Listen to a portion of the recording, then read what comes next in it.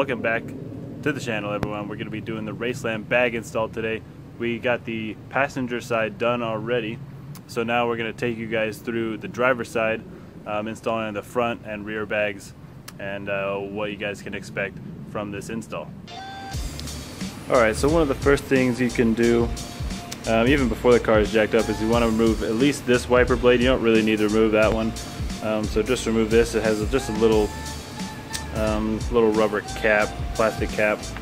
Um, I've already loosened it so they pop off pretty easy. And then you just have a nut there. Um, let's see. There we go. I just tighten it back up to hand tight. They shouldn't be that tight or that loose. Um, and then to remove the wiper blade, you'll kind of lift up on this point and it will kind of, you'll kind of have to jiggle it back and forth if I can. You can lift it up as well, it makes it easier. Then you can kind of just get it to come off like that, and then go to that side. Then once you have that off and you remove this weather stripping, remove that, and then you'll be able to lift this up and get to the top of the suspension. You can unbolt it from there. All right, and that's one of the first things you can do. Um, makes it easier just to get in there and stuff. Alright, so once you have taken off your wiper blade um, and exposed the top of the suspension, um, those mounts and um, nuts, see if I can get it to focus. So now you can go ahead and take off the sway bar links. Um, this one is already off. I get if I can point the camera in the right direction. This one's already off. Um, I'll explain that later. Um, but It'll just be a bolt right there on the back. These are coilovers that I already had installed. it'll be a little bit different if you're coming from stock suspension, but um, this is this is what we have to work with. So you can undo those two points for the sway bar links. We have that one and that there. All right, so once you have both of your sway bar uh, nuts undone, for the sway bar link and go ahead and do this 18 millimeter nut for the bottom of the strut. Alright, and once you've taken off the bolt for the bottom strut, if I can get it out, the back of it will come out right there as you can see, right here. Take that out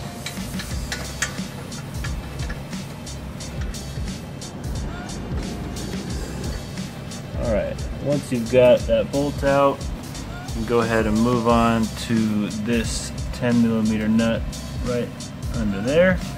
Uh, that'll all be holding the brake line and the speed sensors. Um, take that off just to give you a little bit more breathing room. Keep them from getting uh, too stretched out and getting too much tension on them when you're trying to remove the coilover itself. Alright, so once you've gotten that 10 millimeter nut free, you can kind of move uh, the brake lines and the speed sensors around. Um, and then after that you'll want to get the strut spreader if you have one. If not, you'll have to makeshift something. Um, right in the back here there's a little seam. Uh, put the strut spreader in and then uh, we'll try to get this, the bottom half of this front strut, try to get that out of this bottom sleeve. And then once you get it out of the bottom sleeve, we'll go ahead and go up top and remove the nuts that are up there. So here we have our strut spreader tool. You can kind of see the shape. The camera doesn't really want to focus on it too well. Um, but you go ahead and stick this right into the back of the sleeve back here. There's a little gap you can put it in and then you'll twist it to make that shape perpendicular. Um, and it should spread like it just the name of it suggests, it'll spread this sleeve and then you can go ahead and move this entire thing down and get the strut out. So that is what we are going to attempt to do. So close. So close, yet so far away. Make sure not to get your hands stuck in between uh, where the strut spreader is spreading. We'll be back. Alright, once you finally got it out of the sleeve, uh, we can go ahead and move to the top. Um, when you're doing this, be careful that this whole thing does not move too far out in that direction because um, you do not want uh, the joints inside of the boot there to come undone. It's like dislocating a knee. That's no good. So try and keep it stuck in its original position. We'll just go ahead and move to the top, get this all undone, and we can take the coil out. Alright, to get at the top of this strut, just go ahead and lift that flap up. And you got three 13 millimeter. Uh, I guess these, in this case, these are bolts. Um, go ahead and undo those, and then once you get that done, it should be able to just fall right through.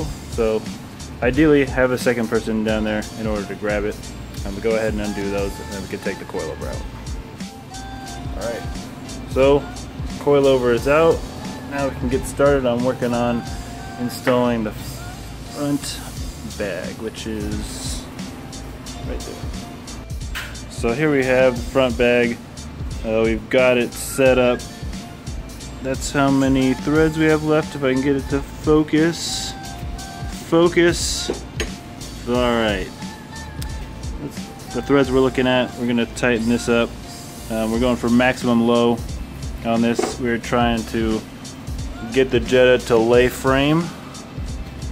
So we'll go ahead and tighten up this spanner wrench and then we're going to thread the the uh, braided hose right into there. Um, and they make this kind of tight. Um, you'll have to get the hose to lie right in between one of these notches, um, but it's pretty easy. Uh, we can get that done right now. Uh, Teflon tape on the threads. We're gonna go counter, or I'm sorry, uh, clockwise. The threads. Just going that way. Always do clockwise, kids. Always do clockwise. Go with the threads. And Brian, about how many times are we gonna wrap this around here? Uh, approximately five, six times. All right. And then just tear it off like that. Nice and tight. Now we good to go. All right, so we need to put grommet, a grommet around this metal hole because um, it's a little abrasive. So we are using some 3 16 uh, fuel line. we'll cut it to length, if you guys can see, we'll cut it to length and then splice it lengthwise and wrap it around and we'll show you guys what that finished product looks like. Alright, so we've finished the grommeting on this side already, so that's what I'm going to show you guys. Um, as you can see, just that rubber hosing there, hopefully you guys can see that, it's a little dark. But yeah, we just cut it to length and then split it lengthwise and then wrapped it around the hole. And it actually is working perfectly. So that's what we've done for that. Alright, so we have braided hose zip tied up here to the brake line and then eventually we'll run it down. It'll basically be following the brake line exactly. Um, so we have the air hose coming through the body here right into our fitting. Uh, we're to leave it just kind of hanging out there like that for right now um, so we can once we get air going to the bags, we can test all the fittings um, for any leaks and stuff like that. So just make it a little easier to get to, and then we'll put everything away more permanently uh, later in the video. Alright, so tight, we're gonna go ahead and thread the braided hose. We thread it right into there, and it will lay lay right in between the hole for this uh, this collar here. So it'll lay right in between it, just enough clearance. All right, we got this end of the braided hose all threaded in with the thread sealant. Now we're going ahead and do this other end, which will connect to the fitting so you can connect this braided hose, connect the braided hose to the air hose, which is right there. Alright, we have all of the fittings tightened with thread sealant on them if I can get the camera to focus. The camera will never focus. Um, we have upgraded, actually, upgraded fittings, air fittings. Uh, these are metal instead of the plastic ones that come with it. Um, that is a shout out to DS Customs, hooking it up. Um, and now we can go ahead and get working on installing these. Um, what we have found out is that uh, installing the bag um, into the base first uh, is a lot easier. So install it to the base, uh, get it tightened in there, and then use a jack uh, to jack it up to the top and then bolt it down from there.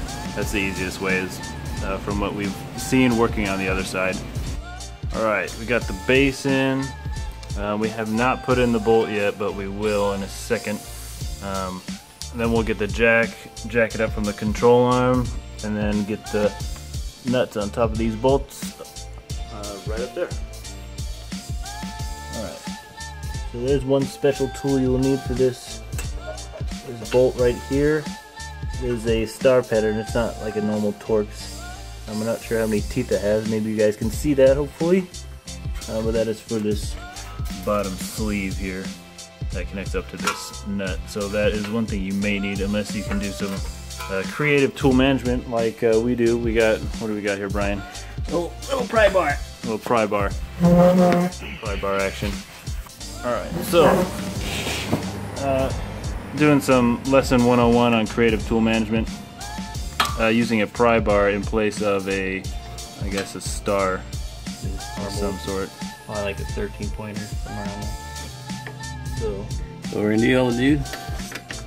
Stick that in there, just wedge it, and it'll be just enough to hold it for us to get the bolt going.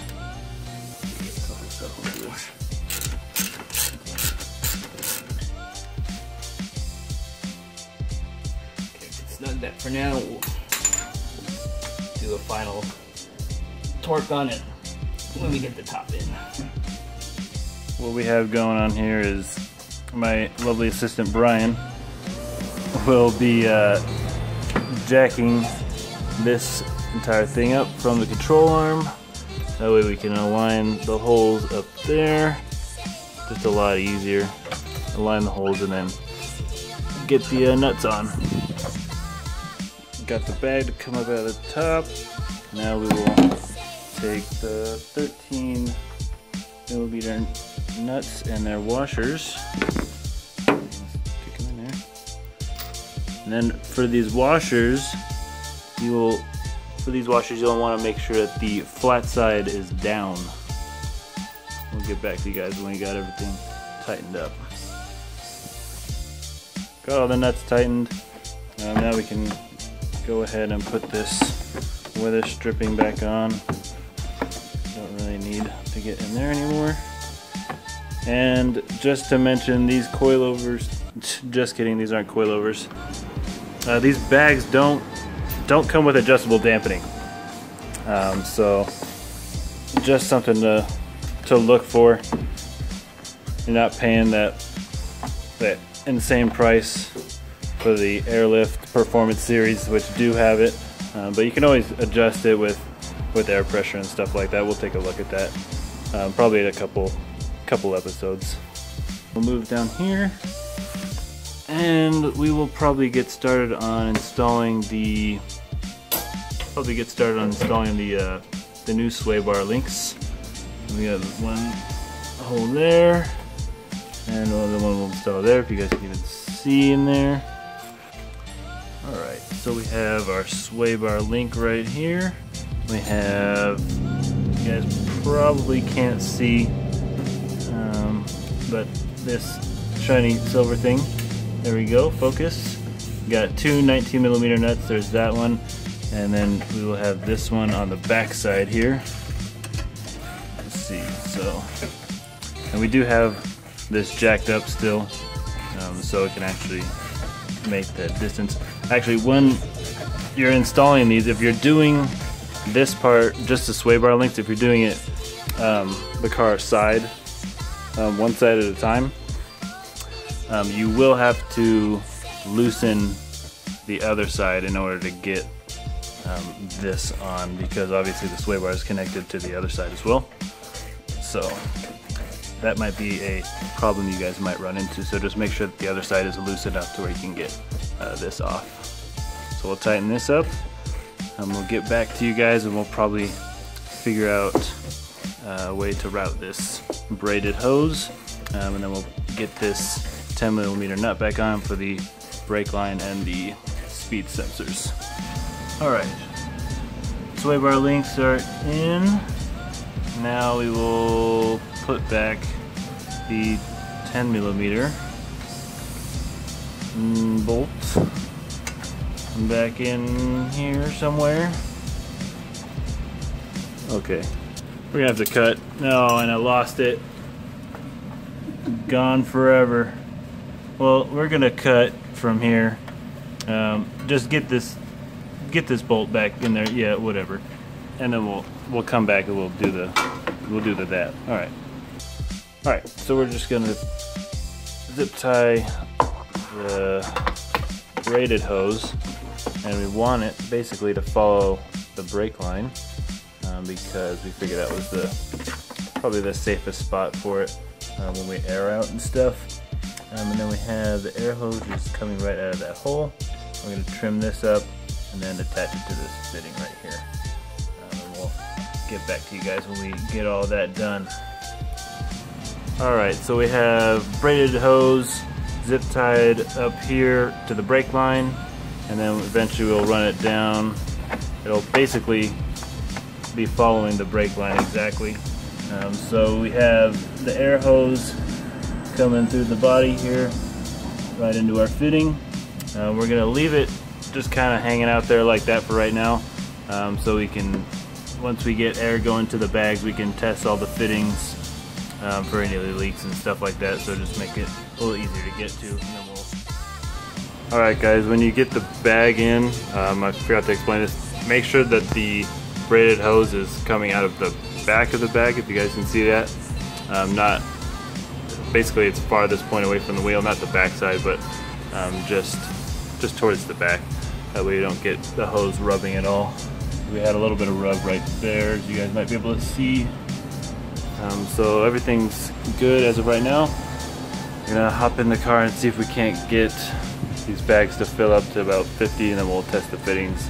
We'll spray them down and we'll show you guys that